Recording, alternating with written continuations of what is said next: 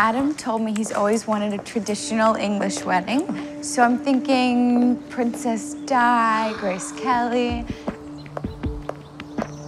The dress should be less about Adam's family and stuffy traditions and more about the new life that Adam and I are going to have together. It's just so different than anything that I had read, and I feel like it's something that everyone's curious about. So many people watch reality TV, and you're like, there's no way that's real. There's no way. You just want to know the full story. So I thought it was a brilliant script.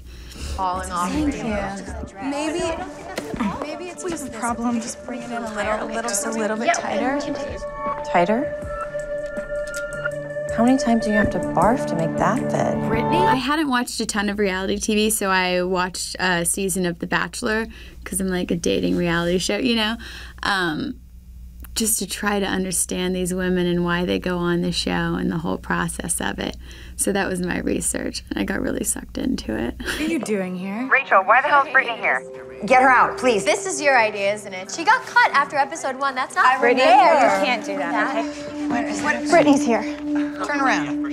You're a producer. Go figure it out. Oh, Or you think that you know a person so well from watching it, and this just kind of opens your eyes and shatters that picture. The person that you think is the villain might have just been completely edited to be that way. Hey, do you want me to go get him and explain that you're trying to screw me over? Again? Chet. That's right.